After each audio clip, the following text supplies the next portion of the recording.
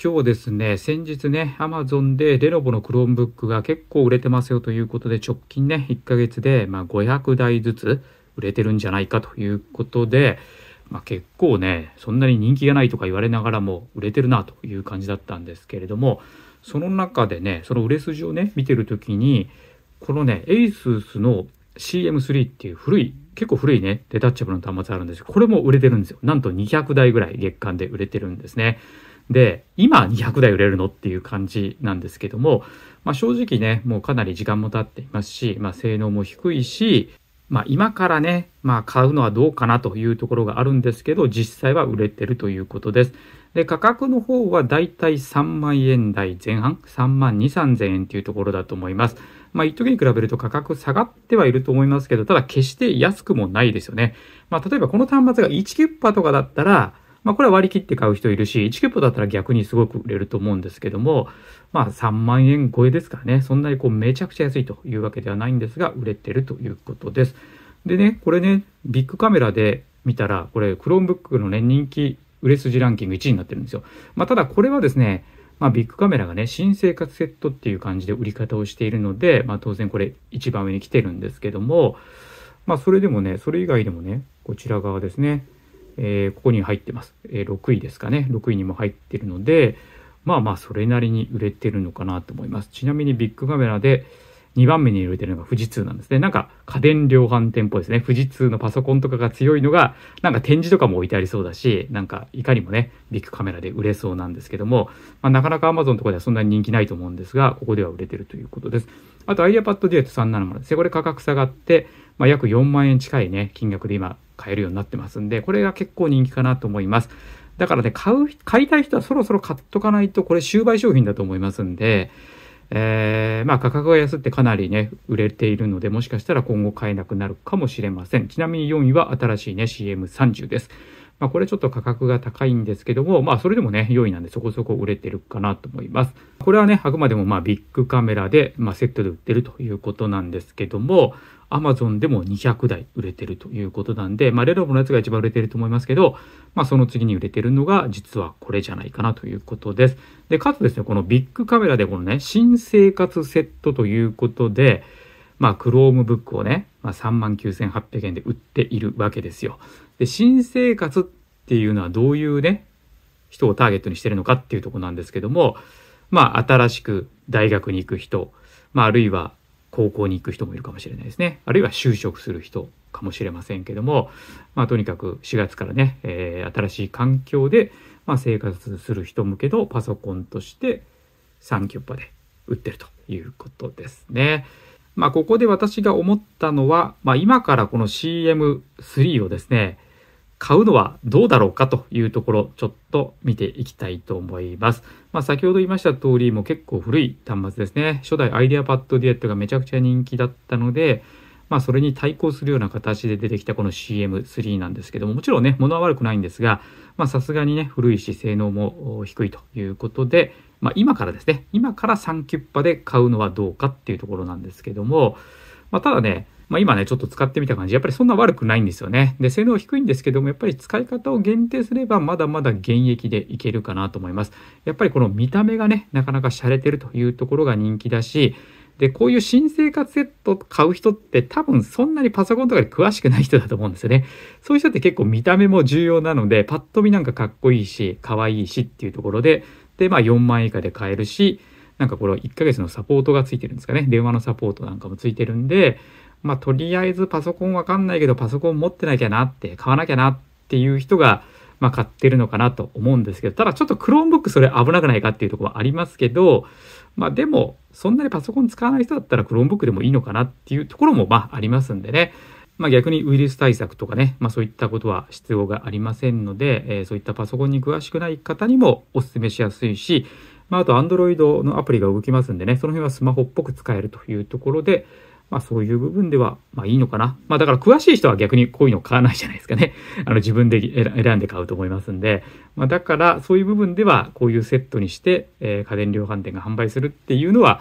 まあ悪くはないかなと思いますけど、でもちょっと危険もあるかなと。まあ Windows とかだったらね、まあその辺は大丈夫かなと思いますけど、Chromebook だとちょっとね、会社に入ってから Excel、Word をね、え、インストールしてくださいとかって言われた時にインストールできないじゃんっていう話に、まあちょっとなっちゃうかもしれないんで、ちょっとその辺は怖いですね。まあ大学もそうですよね。まあ大学も Excel、Word 入れてくださいって言ってね、えー、実際 Web 版しか使えないということになると、もしかしたら困るシーンはあるかもしれない。そんなね、 Detachable CM3 ですけれども、まあ、初代 IdeaPad Duet は基本的にはもう在庫限り終売商品なので、まあ、現行ね、買える detachable で安いものといえばやっぱこれになります。で、やはり今見てもですね、デザインは非常に素敵ですね。あとこのファブリック調、布みたいな感じの、まあ、ケースがついていて、まあ、軽量で持ち歩きやすく、持ち歩く端末としては、まだまだ現役で使えるんじゃないかなと思います。で、ご存知の通り、これね、マグネットでこういう風にバックカバーがついているんですけど、この端末特有な一つのメリットは、これ縦置きのスタンドとしても使えるんですね。これですね、やっぱりね、 IdeaPad Duet に差をつけるために、こういうね、構造にしたんだと思うんですけど要は縦置きで、こういう感じで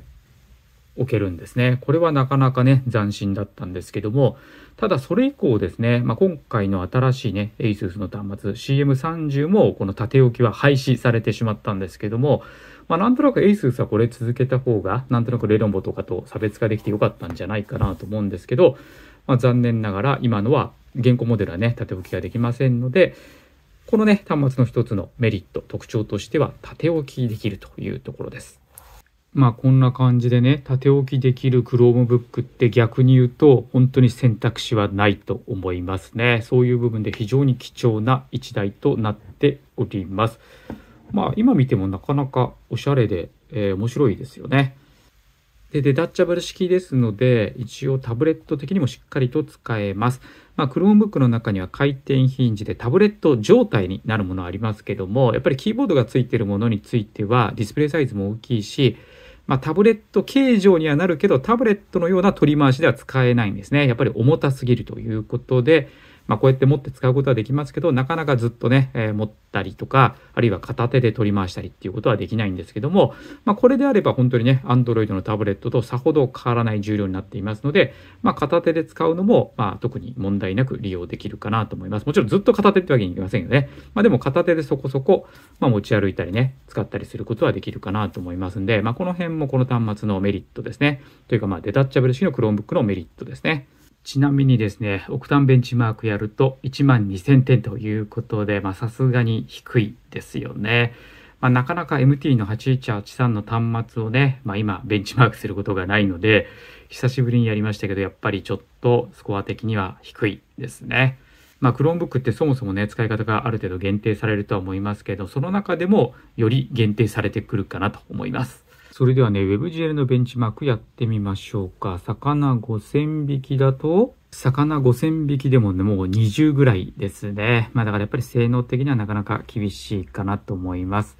それでは1万5000匹、だいぶカクカクしてしまいました。あ1万5000匹で7しか出てないですね。じゃあ3万匹にしたらどうなるか。5、4、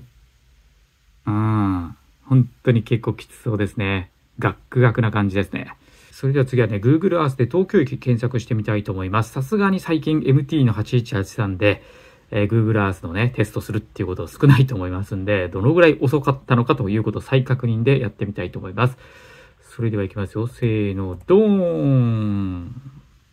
あー、カクカクしてる。カクカクしてますね。表示も、あー、ちょっとやっぱ時間かかるかなという感じです。まあ表示はされましたね。特にピンチイン、ピンチアウト。お、どこに問題ないか。じゃあ 3D 表示いってみましょうか。あ、カクカクしてる。止まった。うーん、やっぱりちょっと引っかかりますね。うん、読み込みが入るのはわかりますね。はい。まあでもそんな問題ないか。これは一回読み込んでるからかな。あでも読み込み入ってますけど、遅いけど、それほど、あ、ちょっと引っかかるか。まあ、でも使えてますね。まあ、Google Earth しか開いてないっていうのもありますけどね。まあ、他のタブを開いてね、他のサービスを使ってたりすると当然重くはなってくると思いますが、まあまあ、ちょっとあれですね。加減しながら使う感じですよね。なるべくタブ一つで、えー、シングルタスク的な感じで、まあ、使っていくというところをね、少し気をつけながら、要は使い方を気をつけながら使うんであれば、まだまだクラウドサービスとかだったら使えるかなと思います。ただ決して快適ではないので、やっぱりライトな使い方になるかなと思いますね。でも割と、割と動くな。もっと動かないかと思ったけど。はい。意外と大丈夫。で、もう一つね、この端末のメリットなんですけども、ASUS の端末は結構内蔵ペンのね、モデルが多いんですが、この端末もデタッチャブルで内蔵ペンね、付属しています。まあこれね、少々硬くて出しづらいんですけども、まあこんな感じで中にペンが入っています。で、当然ここに入れることによって、まあ勝手に充電されるということなんで、まあ非常に収まりはいいですね。それでは書いてみましょうか。はい。非常に滑りやすくて書きやすいですね。まあこれやっぱりね、メリットだと思いますね。やっぱりすぐにペンを取り出して、どこでもメモができるということで、まあペンが取り出しにくいってとこありますけども、えペンを常に携帯していけるっていうのはすごくいいと思います。でちなみに、更新期限ですね。やはり古い端末なので、まあそこ気になる方多いと思いますけども、一応2030年の6月までなんですね。まあ、だから基本的にはまだまだ使えますので、普通に考えればその前に買い替えるでしょうから、えそういう部分でそれほど気にはしなくていいかなと思います。ただやっぱり最新の端末ではありませんので、まあ、ここは少しね、短くなってますけど、実際は全く気にしなくてもいいかなと思います。ちなみにキーボードとバックカバーね、付けた状態でも 919g ということで 1kg しっかりと切っていますので、やはり持ち歩く端末としてはね、まあ、非常にいいですよね。ということで今日はですね、謎に売れている ASUS のね、デタッチャブルの CM3 なんですけれども、ちょっと古い端末にはなりますけれども、まだまだ売れてるということで、まあ、実際今買ってどうなのかということで、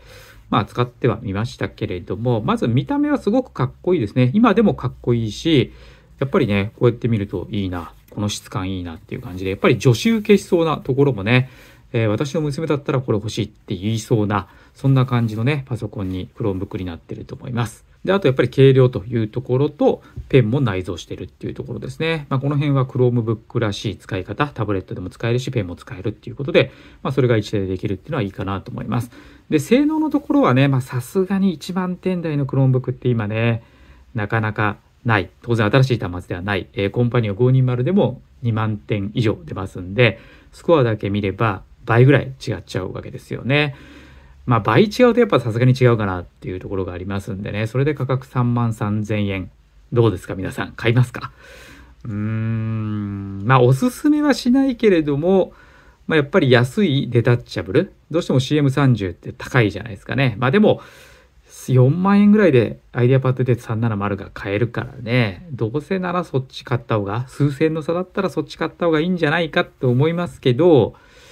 まあまあ、見た目重視の人もいますからね。えー、特にやっぱりそう、新生活セットを買うような人は、そんなにパソコンに詳しくないので、見た目がいい方がいいかなと思います。まあそうなってくると、やっぱり370よりこっちの方が、まあなんとなくこの布の質感とかがね、本当に可愛らしいので、まあ売れるんじゃないかなと思いますんで、まあそういう部分で売れてるのかもしれないですね。まあだから値段さえ下がれば全然今でもありだと思うんですけど、結局その3キュッパ、まあ、ポイントで、え、10%オフになるとはいえ、3キュッパっていう価格が、まあ、ちょっと性能から見ると、